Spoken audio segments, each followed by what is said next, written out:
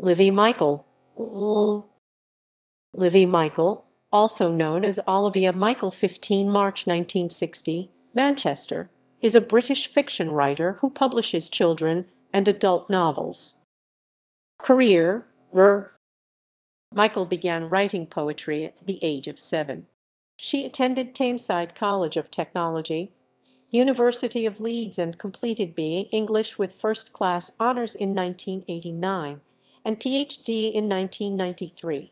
Her career as a novelist started with her first novel, Under a Thin Moon in 1992. In addition to her writing, Michael also worked as a university lecturer teaching creative writing and ran reading groups about women's fiction. She began writing novels for adults in 1992 before writing her first children's novel in 2002 called Frank and the Black Hamster of Narkiz. While Michael was in the process of writing her first novel, she continued her education and completed her doctorate in 1993 at the University of Leeds, where she earned a dissertation named Towards a Theory of Working Class Writing. Lewis Grassic Gibbon's a Scots Quair in the context of earlier working class fiction. Livi Michael completed her second novel while teaching English literature and creative writing part-time until 1998 at Manchester Metropolitan University and proceeded to write her third novel as well. Her fourth novel was published in 2000. Michael continues teaching English literature and creative writing for the Department of Cultural Studies at Sheffield Hallam University and writing novels for children. In addition to teaching and writing, she also gives guest lectures, participates in writing workshops, and visits schools where she hosts reading groups and answers students' questions. Writing influences One of the factors that influenced Michael's writing was her son's hamster named Frank. She describes Frank as an adventurous hamster and something of an escapologist.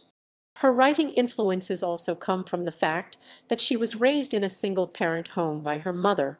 Michael herself was an unemployed single mother of two as well. She is aware of the effects of poverty on women as she is involved with women's organizations and community centers. These factors have led to her understanding of women and their lives on various levels.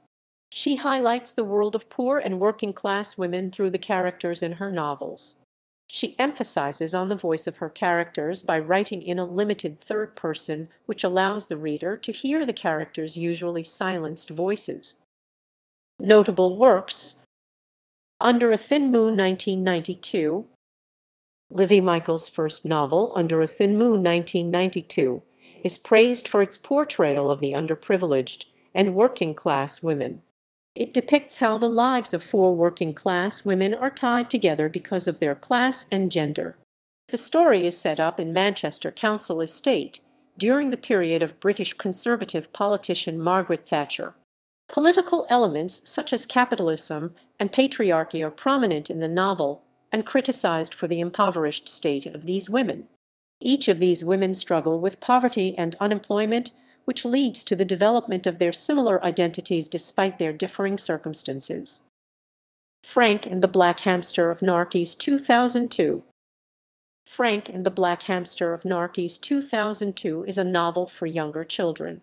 It is a story of a hamster named Frank, who is brave and courageous unlike the other hamsters who are gentle, timid and domesticated creatures. Frank has a mission and a motto courage. He escapes from his cage and undertakes an adventurous journey to meet the mysterious black hamster of Narkiz. After the success of the first novel, Michael went on to write a series of novels on Frank's adventures, and all the novels have been successful.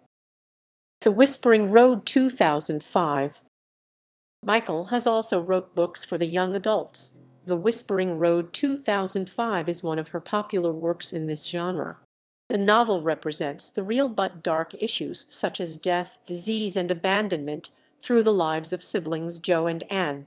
It begins with their escape from slavery of a cruel farmer, in the hope of finding their lost mother.